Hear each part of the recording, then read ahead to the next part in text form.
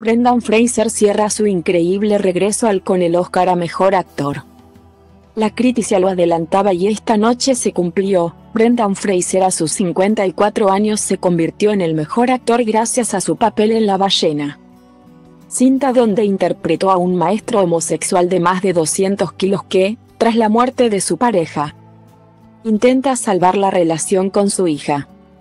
Fans, colegas y asistentes a la ceremonia del Oscar, ovacionaron al actor cuando su nombre fue pronunciado como el único ganador a la estatuilla de Mejor Actor Protagónico, el cual recibió con lágrimas en los ojos y una emoción que traspasaba la pantalla.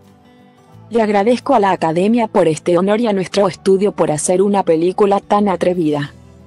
Estoy agradecido con Darren por arrastrarme para hacer la ballena, dijo Fraser con la voz entrecortada.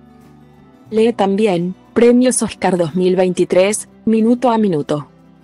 El protagonista de cintas como La momia también recordó la polémica que lo enterró por varias décadas y que lo hizo alejarse de la pantalla y hacer una pausa obligatoria a su carrera, la cual hoy rompe a lo grande.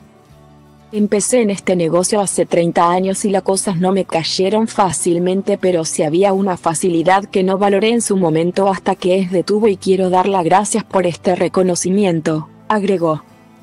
En su poderoso discurso, Brendan también destacó que solo las ballenas pueden nadar en aguas profundas.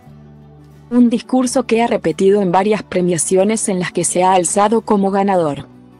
El actor logró vencer a Austin Butler y Colin Farrell quienes también eran grandes favoritos para alzarse con la estatutilla.